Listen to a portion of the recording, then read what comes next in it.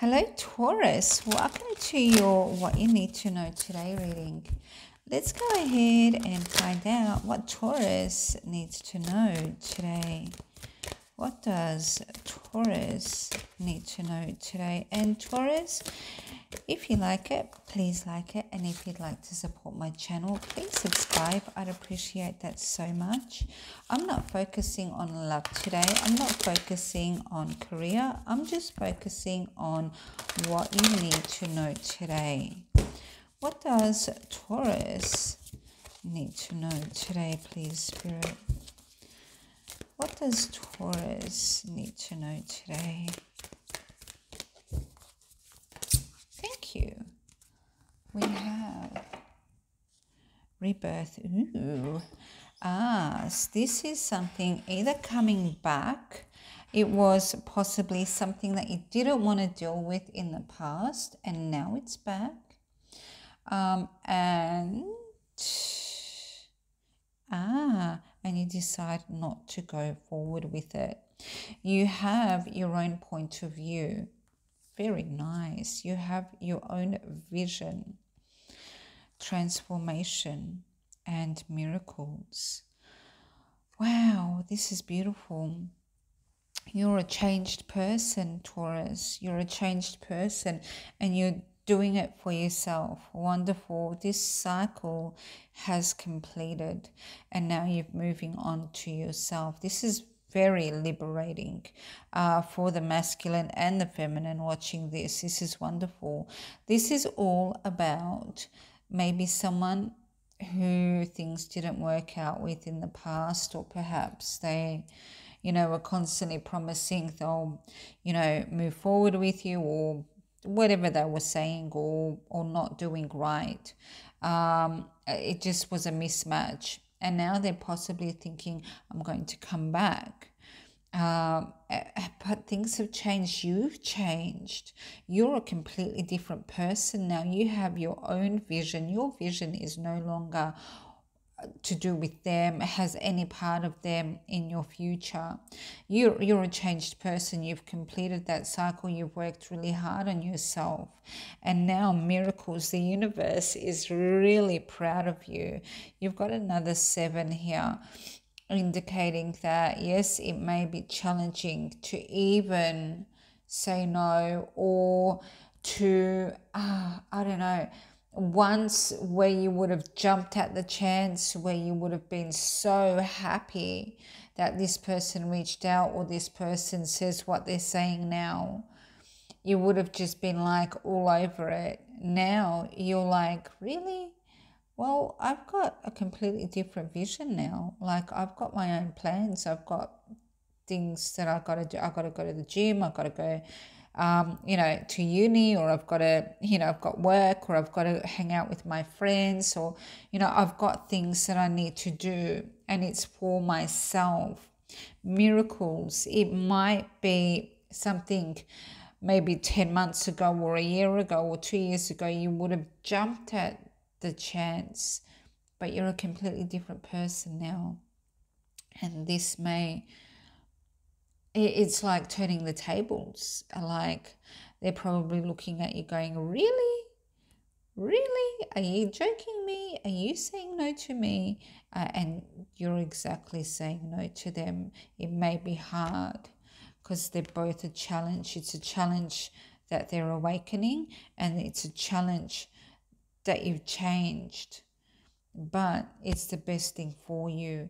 You're over this, possibly not completely emotionally, but mentally you've done the work, spiritually you've done the work, or doing the work, releasing those ties.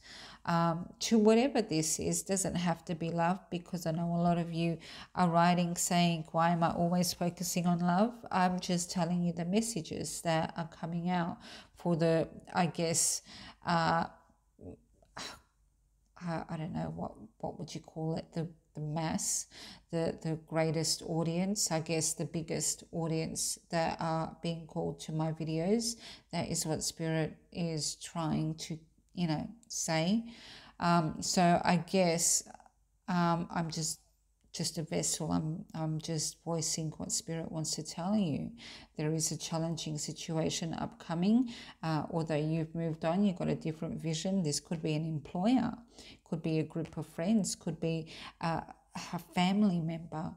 You know, any situation is resurrecting, coming back, a rebirth you know, uh, Isis was um, very magical. She could do necromancy, uh, which is quite an, an a, a phenomenal uh, gift to be able to do and Isis is very known for that.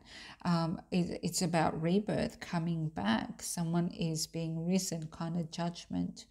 Um, and Lilith is very independent. She is also, she's actually the first wife of Adam. Uh, and, um, you know, she was very much for herself. I am here for me. I am beautiful. I am, you know, I am, you know, much like my t shirt says in my brand, I am the one is a Lilith mentality uh, for the men and the women, you know, not just exclusively feminine. It is for the male and female. You are the one, and we are all the one okay because there is no one like you uh, and lilith is here to express that you are the one and you are independent and there is no one like you and that is rising above what was once i need you i want you i can't go on without you which is where this mentality is coming from. Well, not Isis, because Isis is a goddess, she is grand in her own right. Although, just I guess the rebirth of who or what is re-emerging. It could be you going through photos and going, wow, I remember this person and I remember how I felt with them, but now I'm a completely different person transformation. You've done the inner work. You've completely transformed your mentality, how you see yourself, how you view your future, how you view the world around you, your perception. You've done the shadow work. You've worked with your inner demon, saying, No, a demon be gone. Kind of like a um, recent Scorpio video that I did. It's all about releasing all that that no longer serves, that no longer fulfills, that no longer belongs in your life. And it's the best thing to remove that. And here we have miracles. Miracles. Isn't that a beautiful word and beautiful vibration? It is Mary, the mother of Jesus in the biblical sense. And it is all about, um, I guess, uh, what we don't expect within ourselves and within the world around us, our environment and the people. It is how they see us. They see us as something or someone that we we uh, I guess they're not used to seeing. Uh, it, it's a completely different person. We're totally about ourselves and not in an ego way. In a, I deserve this as much as the next person. I've done my work. I've worked for this. This is my vision. This is who I am. This is my right. And it's it's liberating yourself transforming and the world around you can see that and they're proud of you. They're so happy that you've risen above and that you've come to a really good place in life. All right, so let's keep going and find out what our spirit would like to say to my Taurus. What would you like to say? We have financial constraints, so it could be to do with finances, could be to do with Five of Pentacles, feeling left out. Beautiful, and we're walking away from that. That's why you're liberated. That's why you're rising above. You are the phoenix rising. You are a completely different person now beautiful. It was a case of feeling left out, whether it was financially left out, whether it was emotionally, spiritually. Why can't I connect to the divine? Or why can't I have this person? Or why am I not doing well financially? Obviously, there is COVID and we're all kind of in the same boat. We're all feeling it, we're all going through it. And I know there's a lot of you who are asking me to do readings to do with that. And so this could be a, message for you.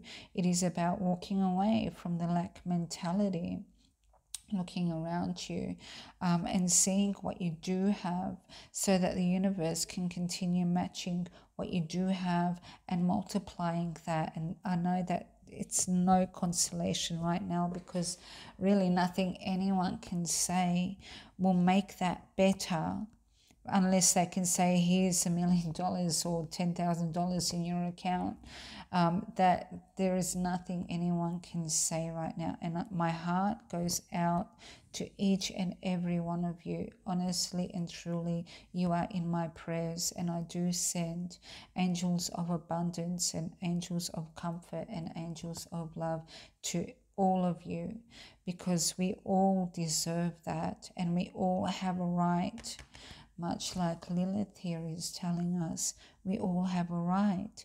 Spirit is saying, pinpointing specifically, eh, see how financial constraints is with the four. Four is rebuilding and restructuring. It is time to rebuild and restructure and raise ourselves up. This is the nine, indicating um, other alternatively it, if we stay behind the fence with the mentality of I don't have, uh, you're kind of uh, creating a barrier around what the universe could possibly give you. It's about opening your mind. And honestly, right now, you know, this is messages, but I know that right now there is really no consolation besides comforting words. And so that is what I am attempting to give you comforting words and I guess sending you energies that will give you that comfort if you are receptive and allow them in. Allow Archangel Michael, allow Archangel Raphael, allow the angels of abundance to surround you, allow them Open your heart, open your mind, open your spirit to these energies. Archangel Michael is also the guardian of the root chakra, which is our material realm. Allow Archangel Michael to continue to cleanse your root chakra and to ground you and to bring it into the material um, and, and to bring more towards you so that yeah we're not in the lack consciousness allow i guess yourself to rebuild from covid. And really it is when the time is right. When the time is right. Right now we're all in isolation all in healing mode. So we need to heal and allow that and be patient for, I guess, the rebuilding and to walk away from COVID with a new um, perception, vision, um, and I guess lifestyle. Our new normal is not going to be what we once knew as normal. It is completely a different normal. And yeah, COVID has basically turned the world around, hasn't it? And so my heart does go out to each and every one of you. And uh, this is specifically a message to those of you who are saying, Why am I always doing love readings? It is not all about love, but love is the highest vibration. And that may be why that is my biggest message to all of you. Although, um, yeah, I, I do like to target different areas of life. That is why I do for my top three viewers and Taurus. You guys are my champions and rock stars. Um, what you need to know today. So, what you need to know today is that you're rising above. You're rising above. Miracles are about to happen. The world is shining above you and, and saying, well done, Taurus. You've done the inner work and you've released yourself from what didn't serve you. Isis is a beautiful energy and there is nothing wrong. Sometimes it is so welcome that something comes back, a past love that we really want to reunite with that we've never forgotten, or, you know, a, a job opportunity that will help us move forward. Although the structure of this reading is telling me the um, Isis being the first card, meaning this is what spirit wants you to see. Something is returning, whether it's um, a memory, somebody texting you from the past, or you know, seeing someone randomly. It's like, wow, I haven't seen you in years or months, and I'm, and they might be saying, I missed you, and really in your heart of hearts, you miss them too. Um, but independence is telling me there is a separation between that and you. You have now um, created a, a, form of separation and by being independent, by being, I guess, not rebellious, but um, healing and um, maybe even just saying it's about me now because I'm not going to uh, fulfill someone's needs that doesn't make me feel good as well. I'm not going to be there for someone. I'm not going to um, extend myself. I need someone to meet me in the middle.